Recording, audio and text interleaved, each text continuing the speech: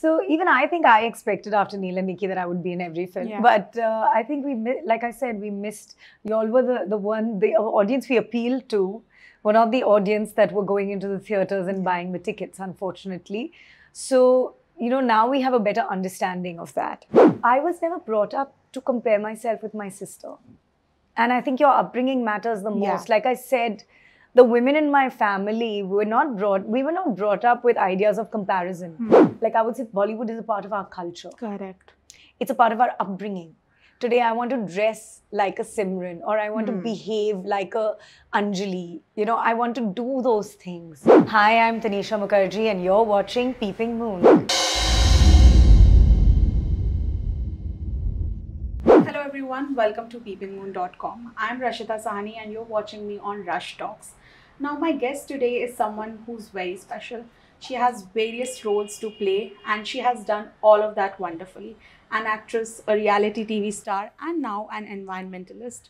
Welcoming Tanishaa Mukerji. Hi Tanishaa, how have you been? I've been good, and thank you so much for such a lovely introduction. You're most welcome. I was actually very intrigued because I have heard actors say this a lot that when we act, we don't get time for anything else. But then we saw various, uh, you know, facets of your life. You were an actor, you still are, and then you went into the reality space, and now, of course, this NGO that's doing incredible work. Tell me more about it. Uh, I think um, when actors say we get time for nothing else, that's because they have dedicated themselves to only being actors. And I think that was one of the things that I, I don't know if I was able to, or I just was not able ever to do. I was always, uh, I was always had these other, my hand in other pots, you know.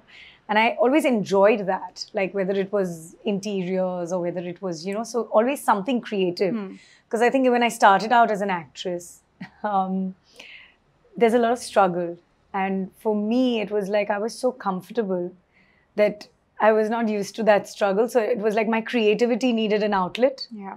So my creativity just went like, okay, uh, this film is not getting, giving me the creativity. Let me try theater.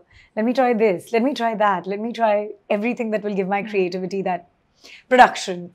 Correct. so I think that's uh, that's why I've been able to do what I've been able to do and just try many things. Okay. And coming from a filmy family, was acting always, you know, on your platter that I need to try this one day? Yeah, definitely. And um, like my grandmom said, do it when you're young. Yeah. So that, uh, but I think for me, it was like, unfortunately, I looked a little too young Yeah. when I started. and I remember even when I did Neal and Nikki, people were like, oh my God, she's so tiny. She looks so young. And I was like, oh, okay. So it became like I started appealing to the 15 year olds, unfortunately. Correct. But, um, but yeah, so I think it was it was good advice. I did it and I enjoyed it, and I've I'm still doing it Yeah. When I feel like it.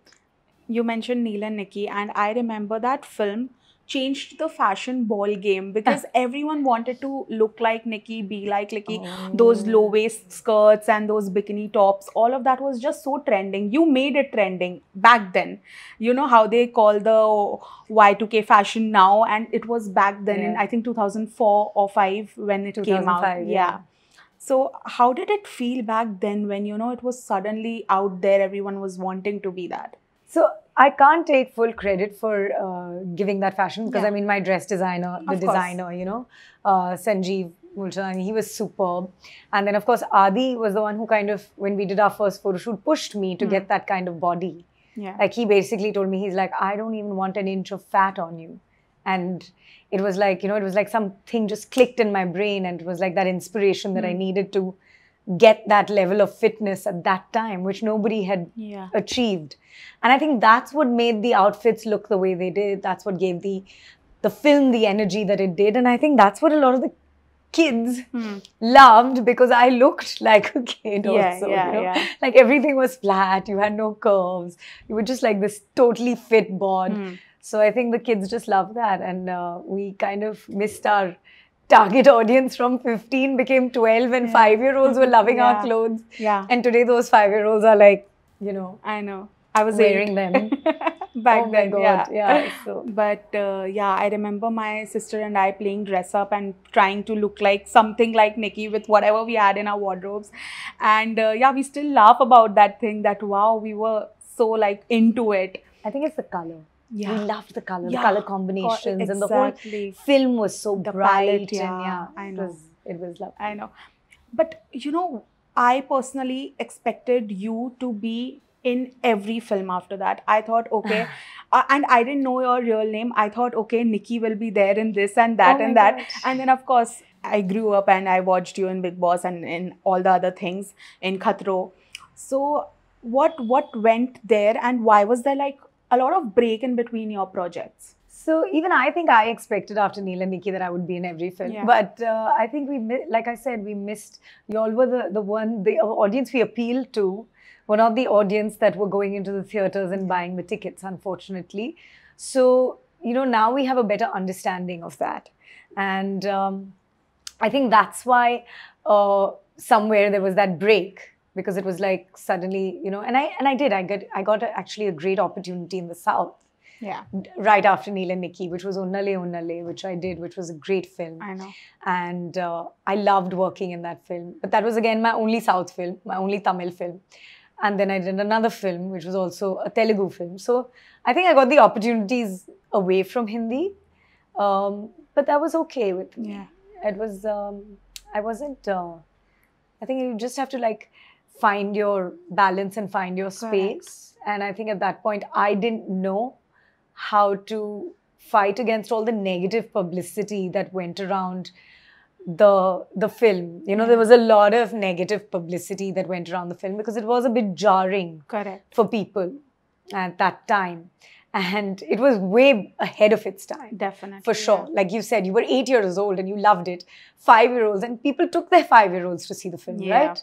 And then they were like oh my god this is I too much. Know, i can't I expose my 5 year old to, To this. Correct.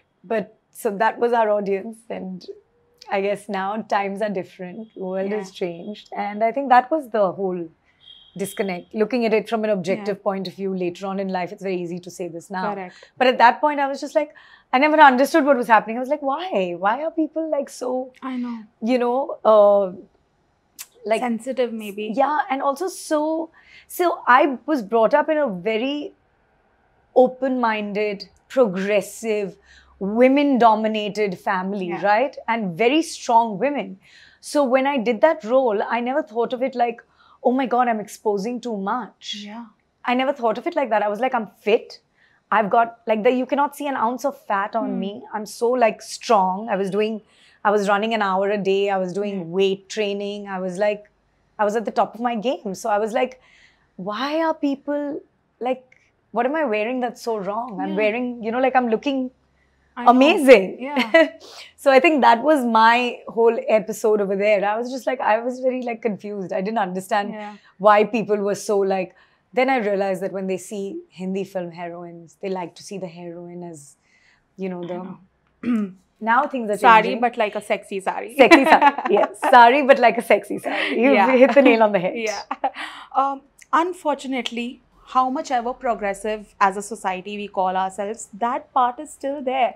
Like, I remember an actress wearing like a, a high slitted gown at uh, an award show and it becoming like a problem how is that a problem it's still it's still happening how sad is it see the way i look at it is you are going to get that kind of Yeah. response but when i did neal and nikki Hmm. and i'll use this in the most uh, because it's the best example.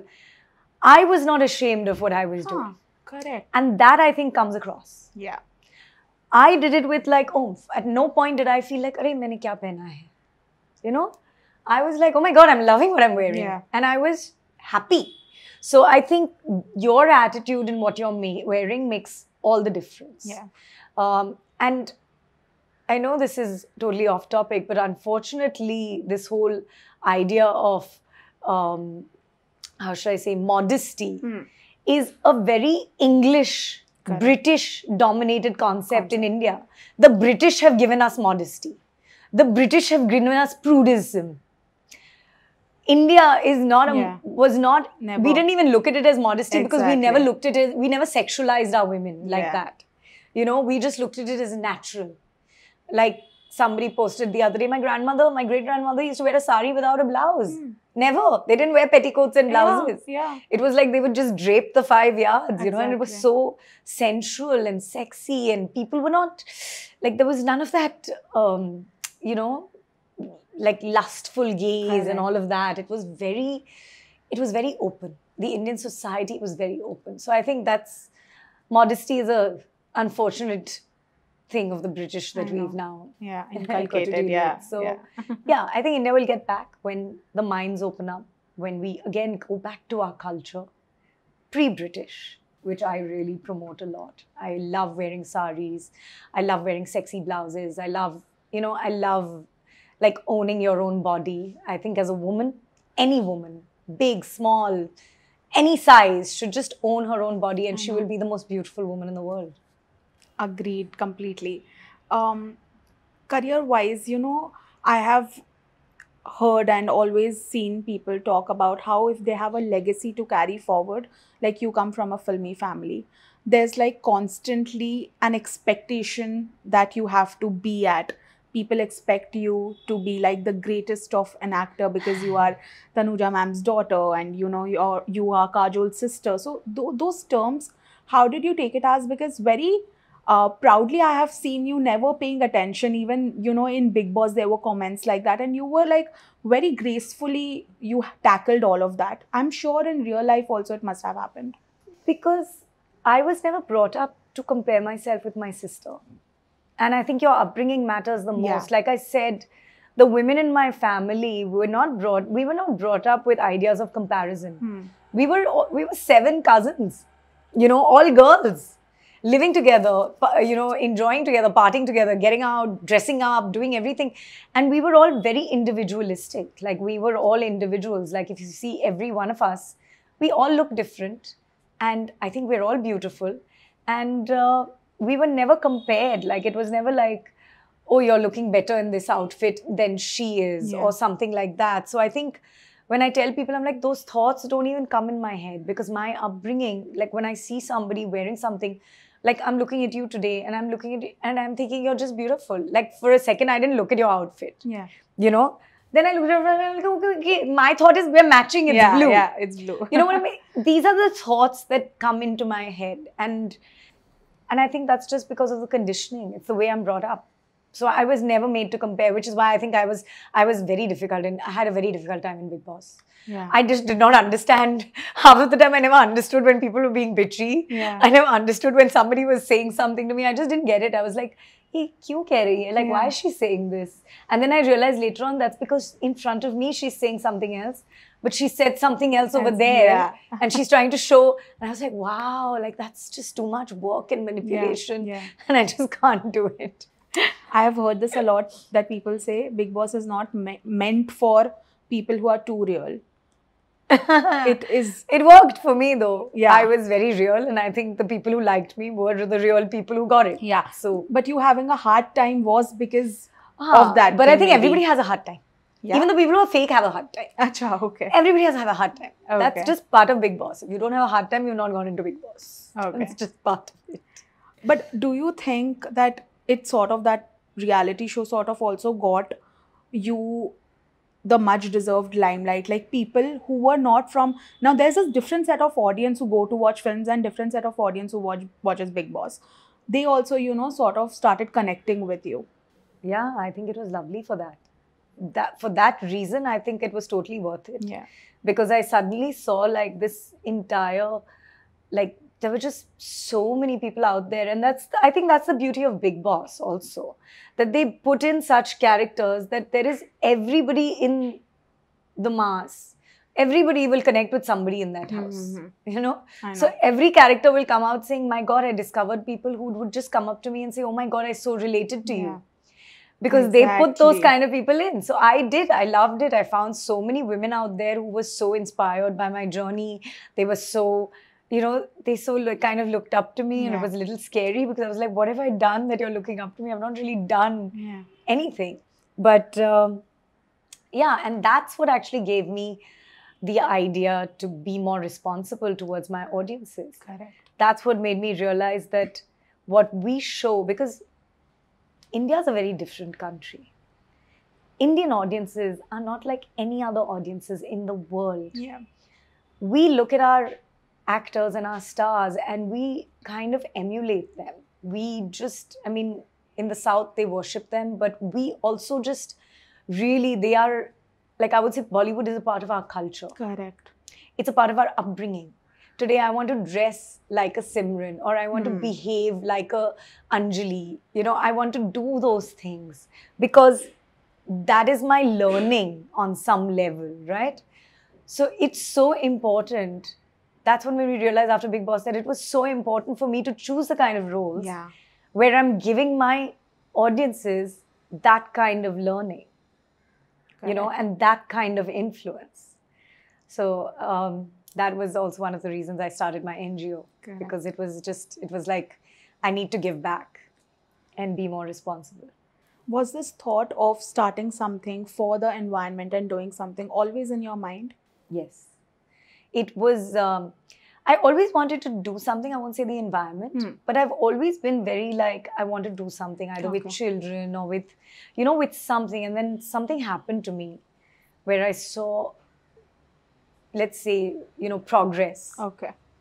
destroying nature Yeah. on some level in very in a very personal space for me. And that's when I realized that we need a new path.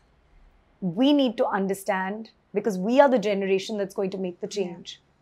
And today, the quality of air, the quality of our water, the quality mm-hmm. of our food, everything has been poisoned.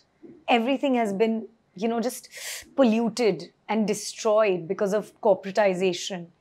And I'm not saying progress is bad. Hmm, hmm. I'm saying it needs to go hand in hand Correct. there needs to be a holistic progress. Hmm. It can't just be pesa, pesa, pesa. It has to be log. It has to be people, people, people. Yeah. It has to be taking care of the people and at the same time moving forward, making money, creating good things, but taking care of the people. Right? And somebody asked me a very interesting question. I was on a talk and they said, if you had a choice, would you choose people or the planet? What would you choose? Oh my god, that's such a tough thing. I think I'd choose the planet. See, that's where you're wrong. I'm an environmentalist and I said I would choose people. Because then they will help you. No, Save the because planet. the planet is going to be here. The earth is not going anywhere. Yeah. Planet Earth is much stronger than you and me. Correct. Planet Earth does not need people. Planet Hmm. Earth has seen the dinosaurs, they've seen the ice age, they've seen, planet Earth has seen it all. Yeah. But the environment today that is around our planet, the environment, the air, the quality of the water, all of that is what needs, people need to survive. We need air to survive. We need water to survive. And if you choose people, then you will help the planet Yes. because you yeah. need the environment. You need to clear the environment. You need to clean the environment for people to survive so that our children can be healthy, so that they're not dying of diseases, so that, you know, so that they're not getting skin cancer from the ozone layer depleting and all of these things. So at the end of the day, you have to choose people. You Yeah. can't choose the planet. Planet. Planet's not going anywhere. Noted. but, um, you know, also as a public figure, as you said, you felt responsible. Uh, unfortunately, sometimes I feel there are a lot of people at the power of position not using it for good. Like sometimes I feel if I had this, I would do this. And then I see, oh, people already have that, but they're not doing it. So there's like conflict of mindset there. So, you know, honestly, to get to a pow- position of power Hmm. takes a lot. Yeah. And by the time you get to that position of power, you have, I won't say diluted, but your mission gets diverted Correct. because you have so many other people you have to take care of. Because anybody in a position of power has many layers under them that they have to kind of support, they have to take care of, they have to look out for. So it gets diluted, you know, they can't help it. It's not their thing. That's why, you know, like, that's why they say give to charity hmm. because they themselves are not able to make that change, right? So that's why you need the strong charitable institutions. You need people to start NGOs. You need people to like get involved. And it's only people.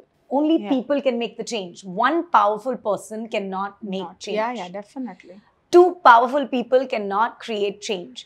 Hundreds and thousands of dollars or money cannot create change until the people, like, like I would say, if my entire lane decided, there'd be change. Hmm.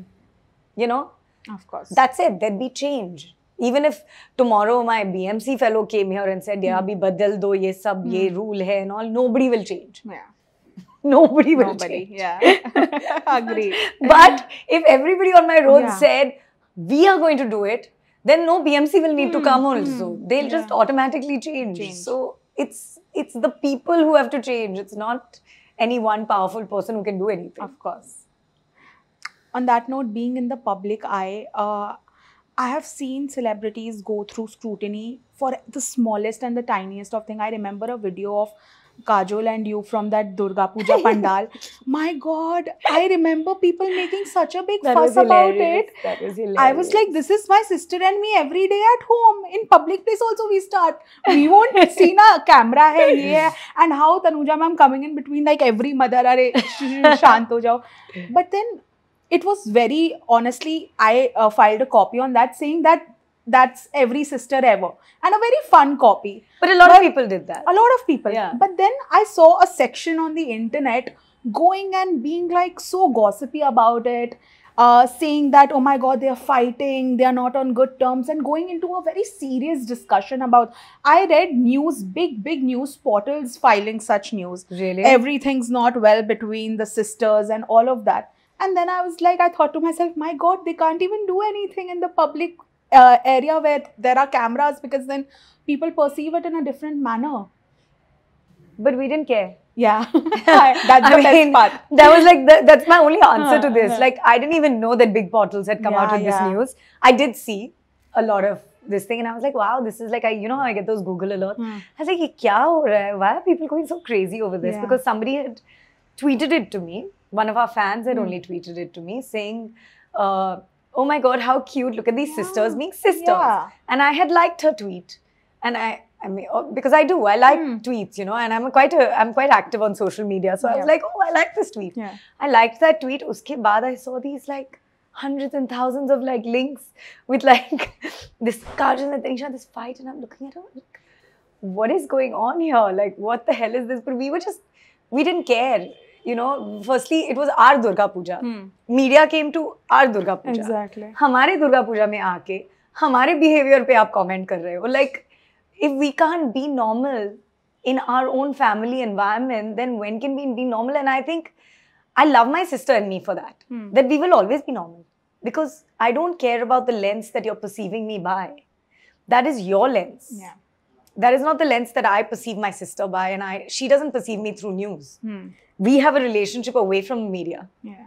you know and uh, and i think that's what's important and I, that's i think that's what everybody needs to now also do more of because social media is becoming so much a part of your life I know. that if you don't have a relationship with the people that you love away from social media and if you have it only through if you believe Yeah. these things or believe because that's their impression. They saw us like that. We saw it like she Hmm. said something and I was like, you know, Hmm, whatever. hmm, And then she was like, yeah. And I was like, Hmm. and I gave it back to Hmm. her, like, because that's what sisters do, right? Exactly. If she says something, I'm going to give it back. Then she'll give it back. Yeah. Then I'll give it back. Yeah. Because that's how to and we fro, are. to and fro. exactly. Yeah, yeah, yeah. I, So- I can relate to so, it. and then my mom will come in the middle, like, stop it, you two. We are at a Durga Puja. Behave yourself. And we're like, okay, mama, sorry. then I'm like, no, but you know, like, I was right. Yeah. You know, like, I know, I know. that's exactly how it was. And I mean, I'm not going to stop behaving like that with my sister till I'm 55 or 75 or 85 because she's my sister. exactly. So I think that's that's all that matters. That you have to have your own space. And I never took it seriously. I saw a few links after that. I stopped looking. Sorry. but uh, you know, even today, there was like a few uh, weeks back, there were reports of you being married, you getting married. Do you still get Really? those? Yeah. Oh yeah, yeah. When I went to Goa. Yeah, that you uh, tied the knot in a secret ceremony. Because I have my toe ring. yeah, yeah. Like, uh, Do you still get these questions? That really came out of nowhere. yeah. I don't know where that news came out of. It was so random. Random. It was like I had just oh, I was I was in Goa and I love my feet. was enjoying the beach and everything, and I and I didn't. I didn't even from the corner of my mind in some Think about, yeah. recess think that somebody will jump to that conclusion Yeah. from this, which just makes you realize that mm-hmm. how crazy this world is becoming because the smallest thing can spark the largest conversation. One person starts, everyone just follows. No, but they don't always mm. follow. Yeah. You know, it just depends on what flight of fancy they Yeah, want to take and then they just take off.